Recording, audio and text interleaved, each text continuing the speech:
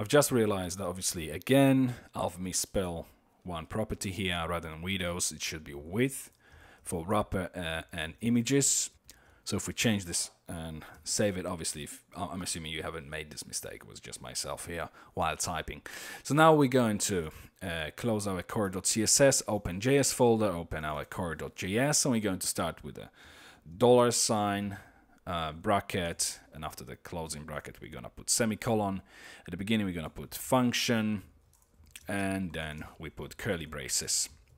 Inside of this function we're going to start with images uh, and then we're gonna apply sortable method.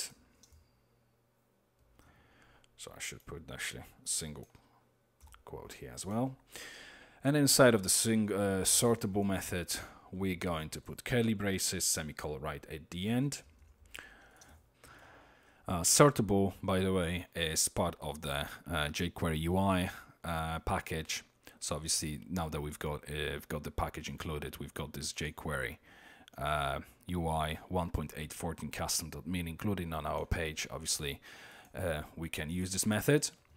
So we're going to start with the first parameter, which is start. And for start, we're going to execute the function, two parameters, event and UI. Inside of this uh, function, we use UI item, which is currently drag uh, item, which we currently drag in actually, add class, and we want to add our active class. So this is uh, what's going to happen when we're gonna click and drag item. This class will be applied to this element. Then we have comma. Next parameter will be stop. What's going to happen when we're gonna when the event will stop? Function when we drop the drop the the image. Then again event and UI, and we have UI item remove class active. So first of all, we're going to remove active class. Then we're going to do effect. And this effect, which we're going to be using, will be highlight. And then for the effect we need to provide a second parameter which will simply be uh, color in this case. And the color I want to use for the highlight will be we need to include it within the quotes 000 which is black. Then the length of this uh, effect which I want to last for 1000 milliseconds. Then we have function right after this just to make a little bit clearer, I'm going to put these parameters for the effect here. This function and obviously we're going to close it. Um, I'm going to put it this way, indent it so that everything's clear and tidy. And this one will go here. Here. Okay.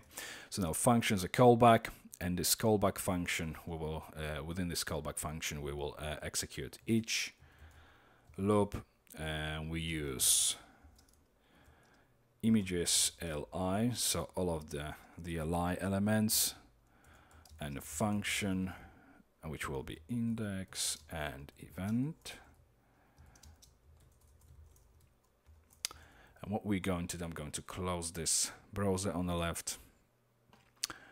Uh, this children and we're looking at uh, for the span HTML then parse int integer index and 10 so that we actually using this index uh, number. So because because index here returned index is the position of the of of the the specific element through which we are currently looping.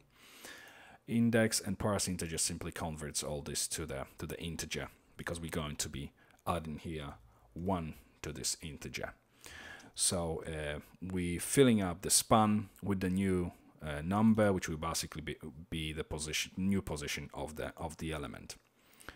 So that's what we do here. And right at the end after our sortable after calling our sortable method we scroll up we're going to use images disable selection method, which is also part of the UI suite. And it simply ensures that if there's any text we drag in, it's not going to be selected by our cursor. So it's always helpful to have it.